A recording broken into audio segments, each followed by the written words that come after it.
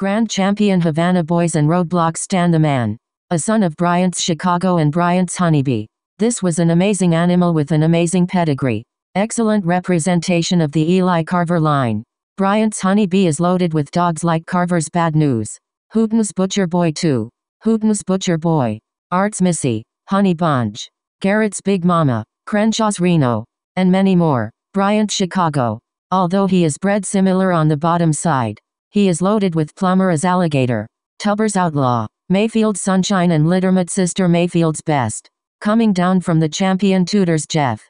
Tudor's Dibo and Tudor's Spike inbreeding. It is amazing how they have been able to keep these animals intact for so many years. The Eli and Kobe dogs have been prominent in APBT community for decades. Line breeding Jeep siblings has proven to be beneficial in many bloodlines. Although this isn't a great picture of Stan the man I've heard from many dogmen over the years that he looked incredible. Great attitude and a great all-around companion. World-class animal. Thanks for supporting the channel please like and subscribe. Share these videos with your friends let's learn about the American Pit Bull Terrier together.